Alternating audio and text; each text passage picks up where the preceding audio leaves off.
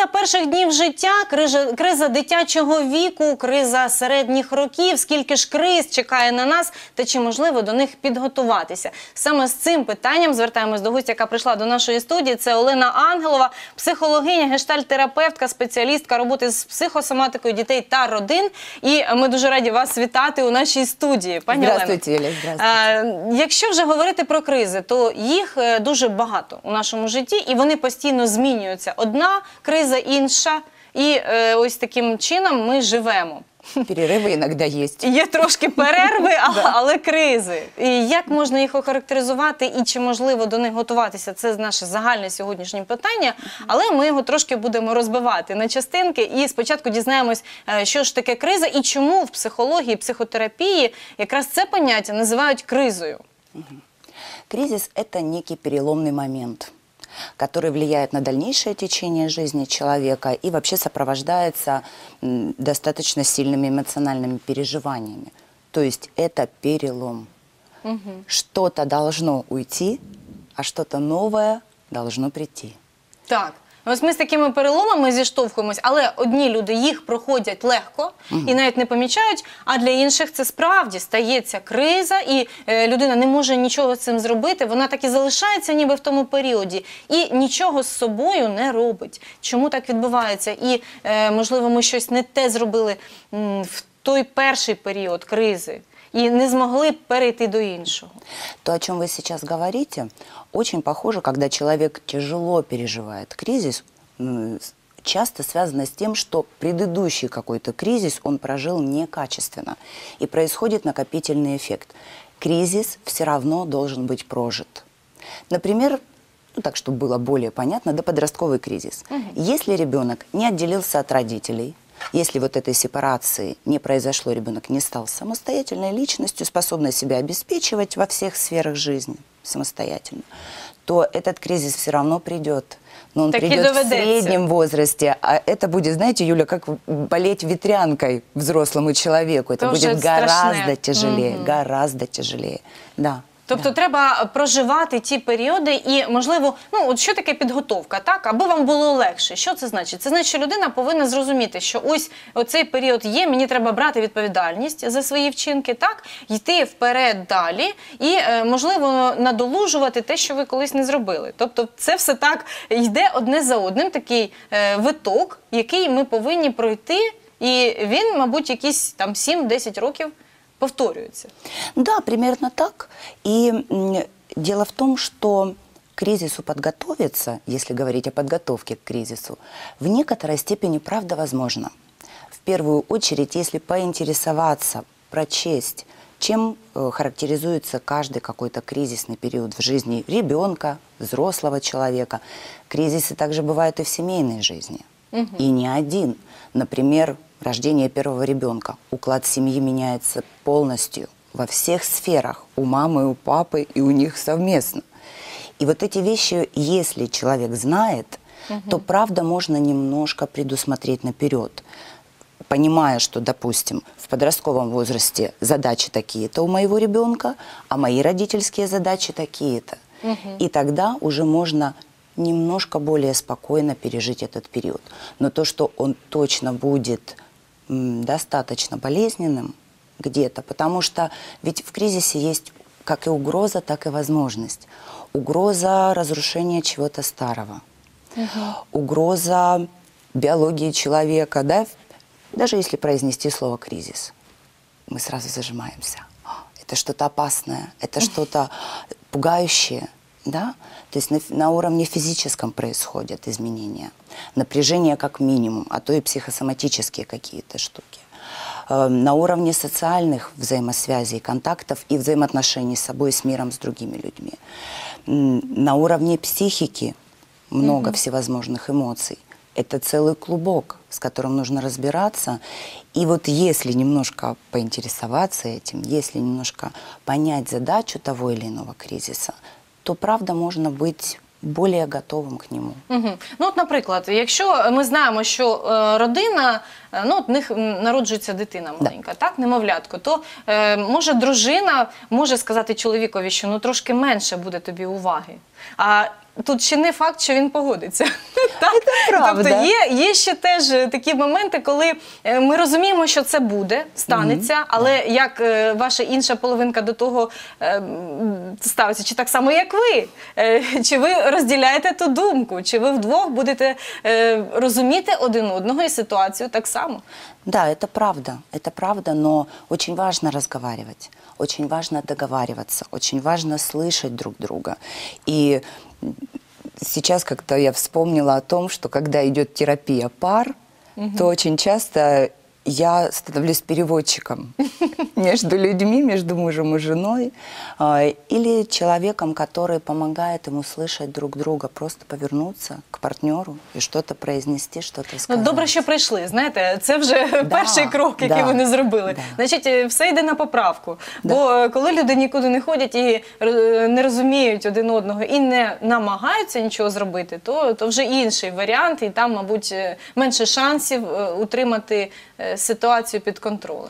Это правда, и вот э, кризис э, опустевшего гнезда, да, синдром опустевшего гнезда, это очень часто маркер того, какие взаимоотношения у мужчины и женщины в семье. Уходит ребенок из семьи, он уезжает учиться, женится, выходит замуж. Он ушел из дома, и остались муж и жена вдвоем. І чужі люди. Да, к сожалению, очень часто так выясняется.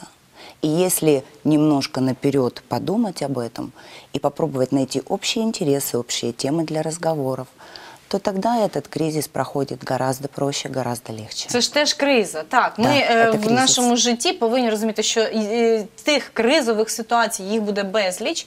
А, Але якщо готуватися, ну що мається на увазі? Ви знаєте, що так буде. Тобто, ви Так. десь прочитали, е, що це можливо. Е, Ну, от, наприклад, криза середнього віку. Так, людина е, вже за той період повинна бути соціалізованою, щось зробити в тому житті, так чи мати сім'ю, можливо, дітей. Якщо десь якийсь пункт е, не виконався, і е, можливо людині і підходить така ситуація, і нормально. А можливо, хтось хотів би чогось більшого. І якщо цього немає, а людина переживає, і дуже часто так стається, що не може нічого з собою зробити. Ось тоді виникає інше питання: як впоратись, якщо у ваша криза не пройшла так, як потрібно? Е, Чи є рекомендації, і як ставитись тоді до такої ситуації? В любом случае важно понимать следующую вещь, что кризис – это всегда конфликт между моими возможностями и способностями и требованиями, ожиданиями среды. И если одно другому не соответствует, вот здесь возникает кризис. Потому что когда соответствует, все хорошо, и никакой боли нет, никакого несоответствия нет, все в порядке, кризис не возникает. И вот когда идет вот это несоответствие, в кризисе среднего возраста идет часто переоценка ценностей, то ли деятельностью я занимаюсь, то ли люди меня окружают и так далее. И это очень тоже непростой период. И если такие что-то не так, где-то есть вот это несоответствие, кризис произойдет. И будет непросто, но в то же время самое первое, что важно понять человеку и знать, важно признать, что у меня сейчас я в кризисе. Угу. Ну а як тоді признати, що ти не виконав, що ти щось не зробив? Чи, чи не можна так до себе ставитись? Не можна себе корити і звинувачувати, що ти не зміг. Тут скорее нужно анализировать, что у меня получилось, что нет. Очень важно себя не обесценивать, что я совсем прожил жизнь зря. К сожалению, такие моменты бывают, когда совсем все плохо кажется, а на самом деле на поверку оказывается и там успел, и это сделал, и этого достиг. А вот в этой сфере где-то что-то не так. И здесь нужно что-то поменять. Хотя бывают кризисы, которые охватывают ну, чуть ли не все сферы жизни. Бывает и так. И степень боли какой-то в кризисе, степень переживаний от этого тоже зависит, от того, сколько аспектов жизни затронуто. Если это только отношения в профессиональной сфере, все хорошо, кризис пройдет легче. Если и там, и там, то будет уже точно І сложнее. що ж тоді робити? Треба швиденько надолужувати чи пройти той, ту кризу і жити далі, е, ну так, як тобі хочеться. Наприклад, так. Ну, якщо, наприклад, людині там не знаю 30-40 років, вона отримує вже той кри, ту кризу і е, переживає далі, розуміє, що ще є час. А е, людина, якій 50-60, вона вже розуміє, що ну все, я ж не зможу нічого вже надолужити. Тобто дітей навряд чи е, доведеться народити. Чи зможу я працювати в якійсь там, наприклад, сфері, е, коли хотілося в молодості, теж не вийде. І що тоді? Все? Все закінчилося? Нет, нет, точно жизнь не заканчивается. Сто процентов ни в 50, ни в 60. Э, Есть очень активные э, взрослые да, люди, которые какие-то хобби себе находят, какие-то новые занятия, какие-то новые профессии осваивают. Даже так. Знакомятся с теми же компьютерами. Наши бабушки и дедушки осваивают какие-то программы, Инстаграм, Ютьюб и так далее. То есть жизнь точно не заканчивается. Но важно признать, что да, что-то получилось, что-то не получилось. А, Что-то я могу еще сделать, а что-то нет.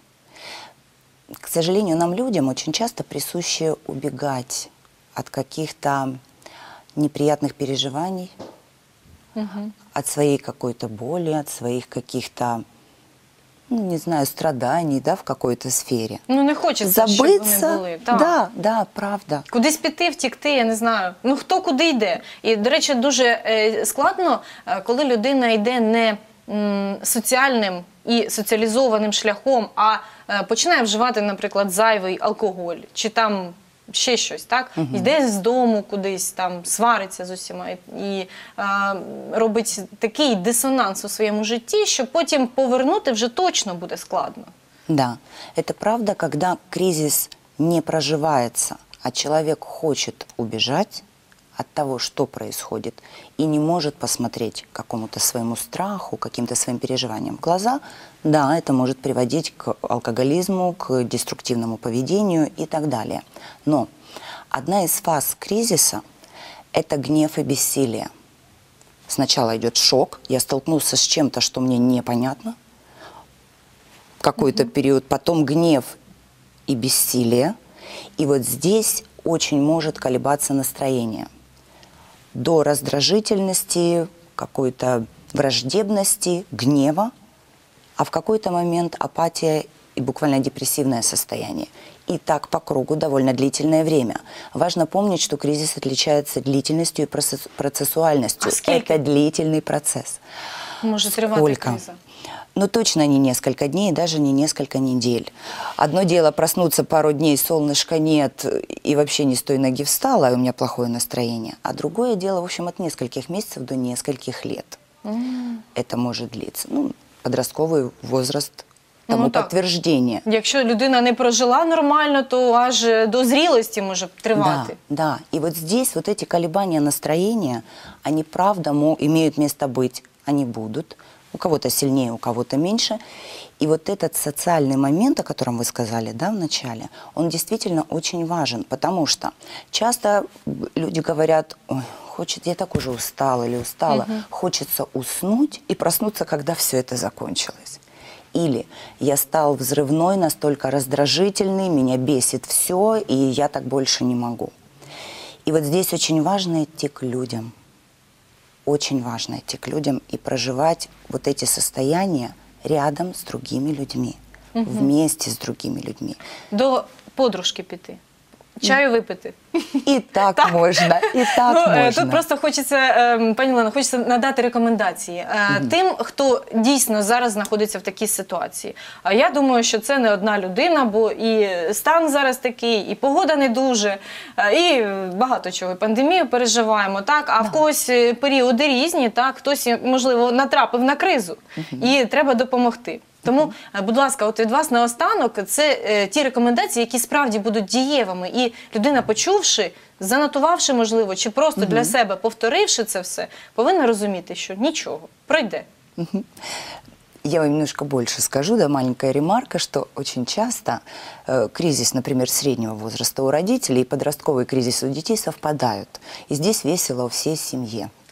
Да, так тоже бывает, когда несколько кризисов совпадают.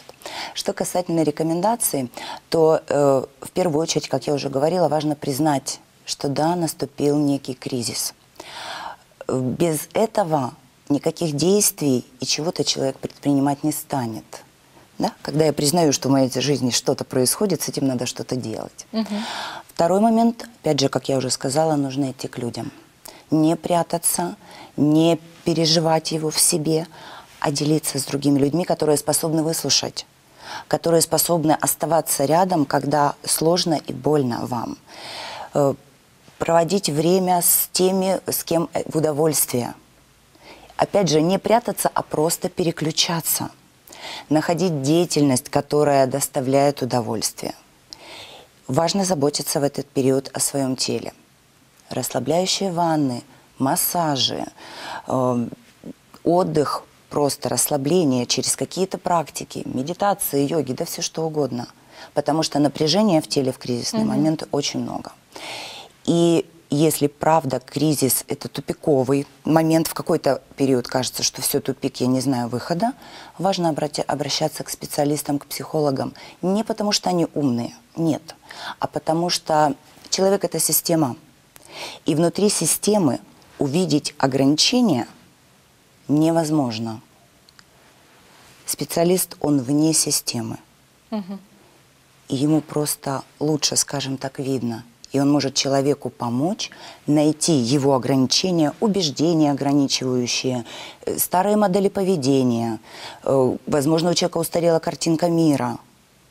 И вот с помощью специалиста человек сможет и реальность увидеть, и новые способы взаимодействия с собой, с миром, с другими людьми найти. И потом это идти реализовывать в жизнь.